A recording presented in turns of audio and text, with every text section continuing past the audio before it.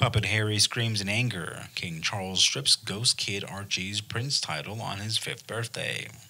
Hello, truth seekers, welcome back to our channel, where we uncover surprising facts hidden in the glamorous world of Prince Harry and Meghan Markle. Ladies and gentlemen, warriors of truth and defenders of the royal legacy, we're here to reveal some explosive revelations that are about to shake the foundations of the British monarchy.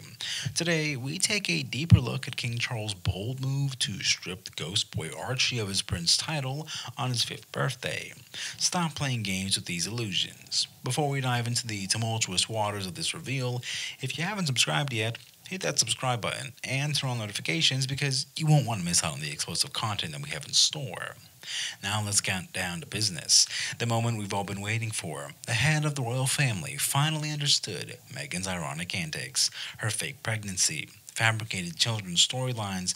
They were all exposed for what they were calculated lies. Despite conflicting evidence and photoshopped Instagram posts, Meghan's affair story misled many people, causing her to receive undeserved sympathy for slandering the royal family as criminals.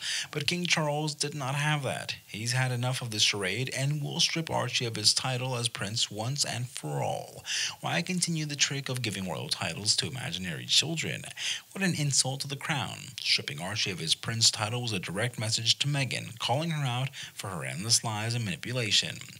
Needless to say, Meghan and her dog Harry did not take the news very well at all. Harry reportedly flew into a rage, shouting at his father over the latest insult, and Meghan, well, she went into complete hysteria, demanding that her crisis PR team spin the story to portray her as a single mother who was a victim of the evil king.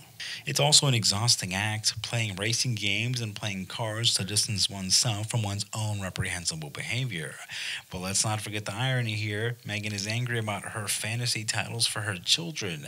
She was angry that her fake son would no longer have a royal title, completely ignoring the fact that her entire motherhood story was a work of fiction. It's amazing how deeply invested she is in the scam, but it's clear that being a royal mother is her ultimate cover to destroy the monarchy. So, what are your thoughts on this? Share them in the comment section down below, and stay tuned for more shocking stories and scandals happening on our channel. Remember to like, share, and subscribe to stay updated with the latest information from the royal world. Thank you so much for watching, and see you again next time.